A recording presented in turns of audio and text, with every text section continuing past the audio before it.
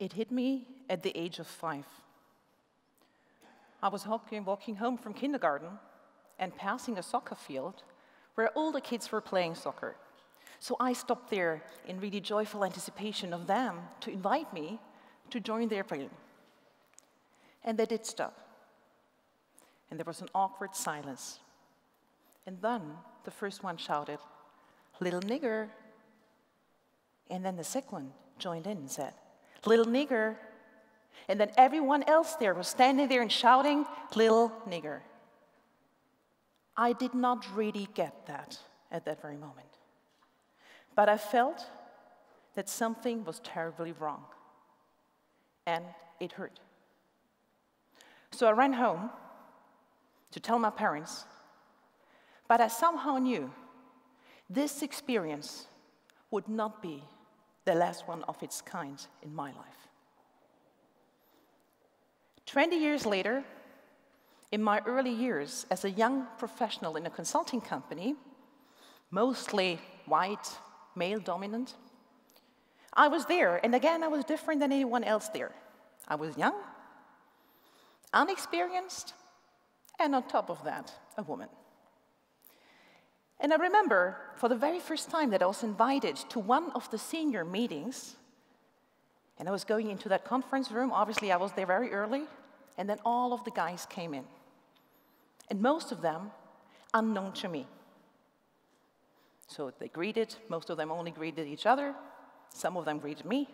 And then they sat down at the conference table, and then the last one came in. He looked at me and said, Hey, young lady, I'd like to have my coffee with milk, please. So those moments of exclusion seem to be crushing at a first glance, but they are priceless at a second glance. I would not be neither who I am today nor where I am today without those experiences. In most of the things that I'm doing, I'm one of the very few women. I'm a mother. I'm not exactly white. And I'm on the management board of one of the largest corporations in the world.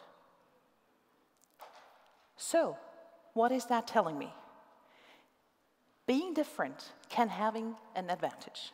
And I'm not talking about gender or the color of your skin. I'm talking about standing out for whatever reason, and we all know that.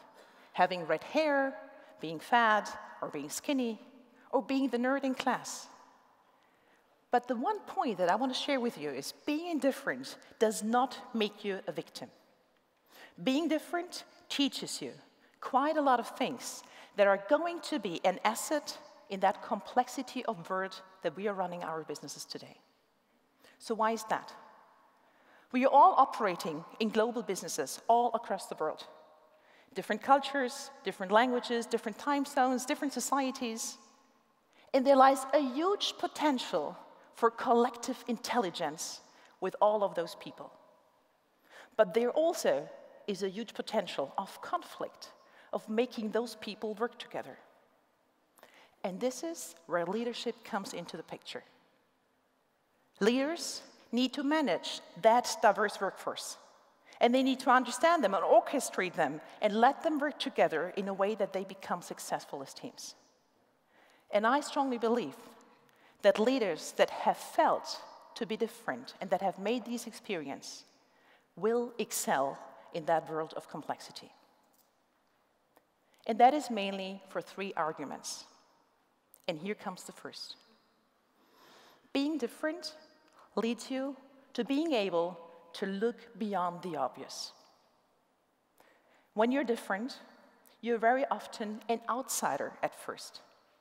So you look at groups and at constellations, and you are not in there, so you see things that many others don't see. And you need to look at those and realize what is happening around there in order to really understand what is happening there. But most of the people only look at the obvious. In my case, that's the color of my skin or the fact that I'm a woman. And people don't even realize that they're doing that.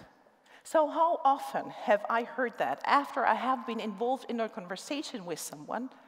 Oh, you speak so well German, not even the slightest accent. Or, how long have you been living in our country?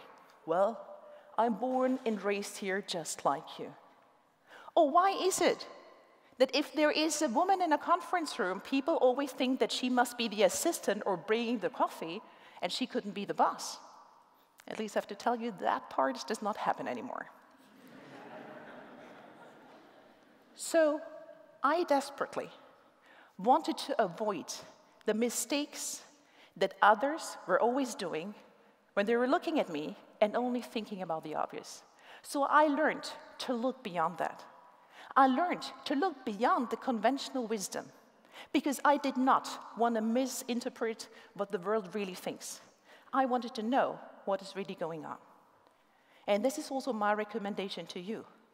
Try to leave your normality and try to find out what is happening there around there because that makes you definitely much stronger in leading people. Also, being different is making it sometimes much more difficult to earn your seat at the table. And you will actually find out that nothing in life comes easy, and that you need to go a really long way till you get there what you want to do. And that's not always easy. And this is my second lesson. Being different requires fighting harder. When you're different, that means that you have to articulate what you would actually like to achieve. This also means that you have to make your point. And from early on, I was lucky because my parents forced me to really think and reflect about the things that I wanted to say. So we always had our Sunday afternoon sessions where we got together and we were talking about whatever. It could be politics, it could be science, a new trend, or something personal. And the reality was that very often my parents shared one opinion from their parental perspective. And I was there left alone in the opposition, or let me say, in the minority. So I remember I was 15 and I had a dream. I wanted to travel Europe with my backpack. Remember Interrail? That's what I wanted to do. So I was totally excited, and I thought, okay, I need to make money. So what can you do when you're 15 years old? And the only thing that I could actually do as a job in my vacation was to work in the kitchen of the elderly home in the neighborhood. So I brought that idea forward, totally excited, as this would be a best idea. And then my parents looked at me and didn't like it at all. Because they thought the best benefit for me to be good in school would be to study all of my vacation. Obviously, that was not what I wanted, right? Heydays of puberty, so I was screaming and fighting, and there were banging doors. Eventually, I found myself crying in my room, not having succeeded anything. So I thought, I need to reflect on my line of arguments and go back to the table. So I did. And I told my parents that the best and the biggest benefit for me and for school was to work exactly in that kitchen because the chef was French, so this would be a true language partnership. and it worked. So, what did it teach me? There is nothing wrong about having conflicting arguments. There is nothing wrong about fighting and discussing and sharing different viewpoints and opinions. But it also taught me that you need to fight for your opinion and that you need to fight if you want to achieve that. And I often compare that with sports and the top guys. Does any one of you really believe that you can win the world championship if there is not a lot of pain? I mean, not even participate at the world championship. There is pain, there is a long way to go, there is pushback, there is failure, it hurts, and there is doubt. And leadership is not so much different. If you want to achieve things, you need to be ready to take the pain. And sometimes it also means that you need to be ready to have a thick skin. But I'm not telling you that you should actually bang your head against the wall. No, what you need to do is to understand the rule of the game, to understand the language of the group. Because only if you speak the language can you convince those people and make it happen. And this is my next advice. Learn to adapt to different people. Adapting to people means that you need to understand what is the group doing, what is the dynamics. And again, as an outsider, you have plenty of time to look at that.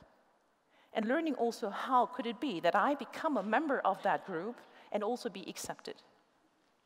And this is what I did. And this is also what I learned because my parents were sending me out of the country very early. So I went on exchange programs into different countries.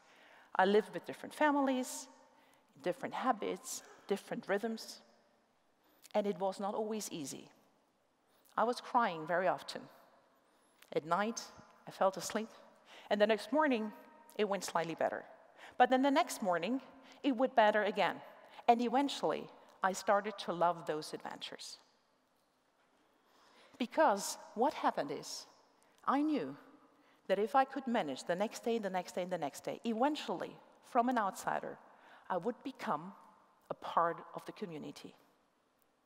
And it went even that far that when it was time to say goodbye with my French family, they wanted to give me a very special treat.